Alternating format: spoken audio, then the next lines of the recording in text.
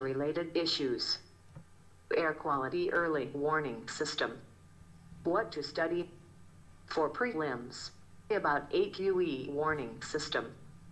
For mains, air pollution related issues and the need for early warning. Context Air quality early warning system for Delhi has been launched.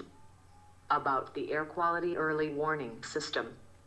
The system is designed to predict extreme air pollution events and give alerts to take necessary steps as per Graded Response Action Plan GRAP of the Government of India.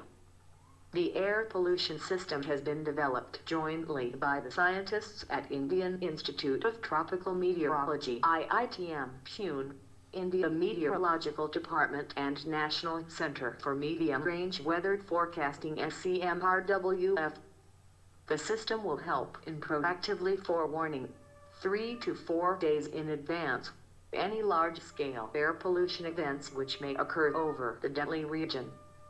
The warning system consists of real-time observations of air quality over Delhi region and details about natural aerosols like dust from dust storms and particulate matter using different satellite data sets B predictions of air pollutants from two different air quality prediction systems based on state-of-the-art atmospheric chemistry transport models and see warning messages and alerts and bulletins.